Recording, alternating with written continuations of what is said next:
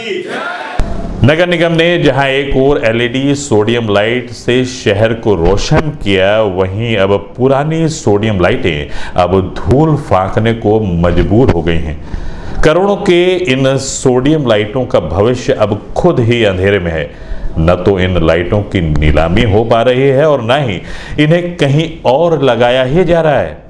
जब इसके बारे में हमारे सिटी वन संवाददाता ने नगर निगम के अपर नगर आयुक्त डी के सिन्हा से बात करनी चाहिए तो वह असहज हो गए। उन्होंने सीधे सीधे कैमरे पर आने से मना कर दिया और इस मामले से अपना पल्ला पूरी तरह से झाड़ लिया।